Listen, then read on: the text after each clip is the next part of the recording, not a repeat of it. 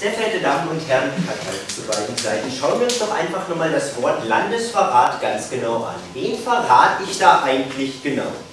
Wenn die Regierung, wie das im Fall von Snowden und der Geheimdienstaffäre offensichtlich der Fall war, das Volk belügt, dem Volk Informationen vorenthält, der Souverän, der eigentlich dieses Land darstellt. Wie kann ich, wenn ich diesem Volk Informationen gebe, ein Verräter dieses Landes sein? Das ist das, was uns die Opposition hier erklären möchte. Das würden wir doch gern einfach nochmal hören. Ähm, ich werde jetzt erst, ich, bevor ich über meine zwei Punkte komme, nämlich erstmal werde ich über die Auswirkungen der internationalen Beziehung reden, über das Verhältnis von Staat und Bürger, nochmal den liberalen Staat und die öffentlichen Interesse, ein paar Erwiderungen auf die Vorrednerin.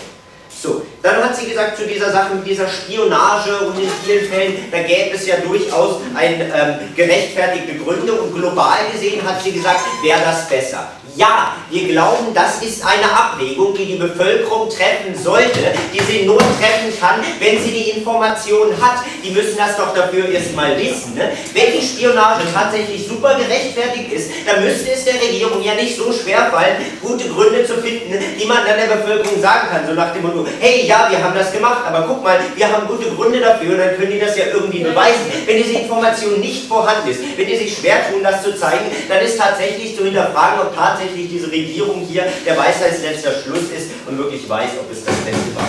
Dann zu dem Punkt mit, ja, ein einziges Individuum, das ist mit dieser Abwägung eventuell überfordert und so.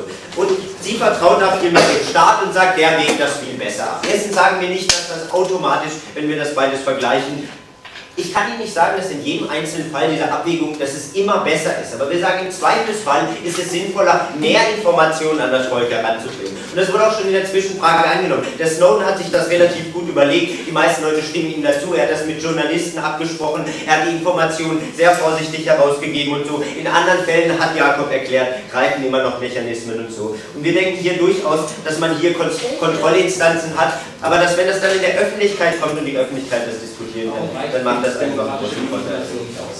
So, gut, jetzt über die Auswirkungen von anderen Staaten und die Konsequenzen. Warum ist es sinnvoll, dass man der Weltöffentlichkeit das klar macht? Wir sehen, dass in vielen solchen Fällen die Bürger erstmal über das, was im eigenen Land passiert, ziemlich schockiert sind und ein Interesse haben, das zu starten. Und da sehen wir, dass es große Konsequenzen für, den, für das eigene Land gibt.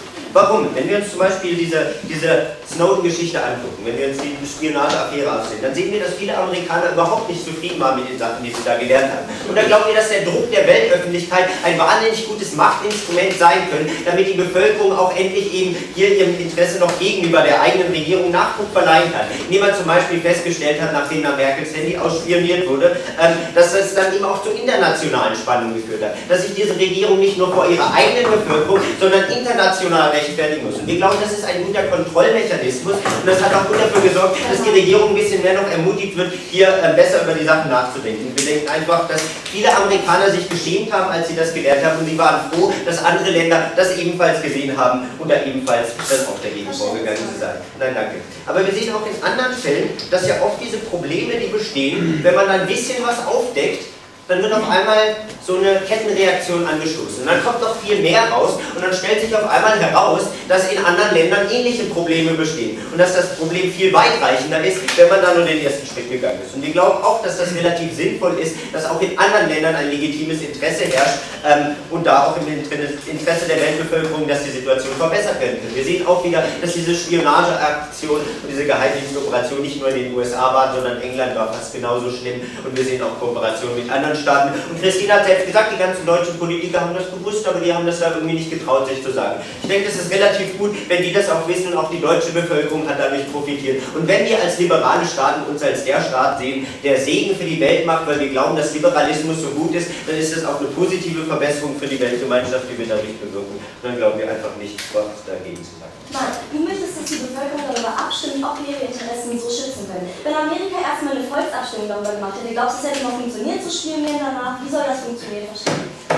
Ähm, in gewissen Fällen, ich meine, ja, man kann schon überlegen, ob es uns das wert ist. Man kann sagen, wie viel man dadurch zum Beispiel verhindern kann, wenn man Spionageaktionen vor kann man dann Kameras aufstellen, man kann nach wie vor äh, Handys spionieren und so. Also ich meine, ich denke, das ist ein Diskurs, der in der Öffentlichkeit gehalten werden sollte. Ja gut, ich meine, da gibt es durchaus noch Möglichkeiten, aber ich denke, und das ist genau mein nächster Punkt, das ist eine Abwägung, die von der Bevölkerung getroffen werden wird. Wenn wir uns das Verhältnis vom Staat und von den Bürgern in einem liberalen Staat haben.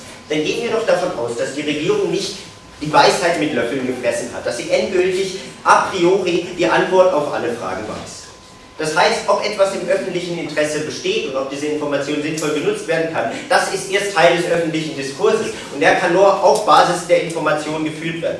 So das Problem ist, wenn wir in der Demokratie leben, dann vertrauen wir doch dem Urteil des Volkes. Wir sagen, das Volk kann diese Information haben. Aber wenn wir dem, dem Volk Informationen vorenthalten, dann kann es das nicht machen. Es ist ein sehr seltsames Demokratieverständnis, dass wir sagen, das ist in Ordnung, wenn wir euch über Kita-Plätze informieren und da könnt ihr dann drüber abstimmen, aber über die eigentlich wichtigen Sachen, die ekligen Sachen, wie wir uns in Kriegseinsätzen verhalten, ob wir spionieren, darüber sagen wir euch nicht. Das ist wahnsinnig inkonsequent, wenn wir einfach überlegen an der Stelle, dass mit der Wahl, die ich ausfülle, nicht nur Kita-Plätze beeinflusse, sondern diese ganzen anderen Sachen auch, dass meine Wahl, zum Beispiel wie sich mein Staat verhält, ähm, auch in diese anderen Elemente mit reinspielt, ich aber nicht mehr die Möglichkeit habe, hier einzugreifen. Das heißt, wenn eine Regierung unter Vorspielung von falschen Tatsachen zum Beispiel gewählt wurde, dann glauben wir durchaus, dass es ja verliert sie ihre Legitimation, weil sie eben den Bürgern nicht erzählt hat, was sie eigentlich vorhat mit diesen Stimmen und was sie da eigentlich vertritt. Und wir denken durchaus, dass es ein weiterer Kontrollmechanismus ist, der im Interesse des Volkes gibt und der dafür sorgt, dass die Regierungen nicht machen können, was sie wollen und ihr Volk belügen können weiß auch nicht wirklich, wie man dagegen sein kann. Also wir glauben auf jeden Fall, ähm, dass das auf jeden Fall ein, ein, ein Sinn ist. Und letzten Punkt im öffentlichen Interesse, ich habe das schon angesprochen, wir haben das ja in vielen Fällen gesehen, zum Beispiel mit der Sloan-Affäre, wie wahnsinnig viel Unterstützung der bekommen hat und wie das da eine Diskussion angekoppelt hat im Volk, ähm, die darüber gemacht hat, ob wir das überhaupt in unserem Staat haben wollen, wie wir darüber eingegangen sind. Und es gab auch Leute, die dagegen waren, die gesagt haben, nee, das sollte man nicht wissen, der Staat sollte so agieren dürfen. Aber wir finden, dass es wichtig ist, wenn man da mal wenigstens drüber geredet geredet hat. Und wenn man nicht a priori sagt, jeder, der diese Informationen rausgibt, ist ein Landesverräter, damit dieser Diskurs gar nicht erst möglich sein kann. Wir glauben, wenn wir in einer liberalen Demokratie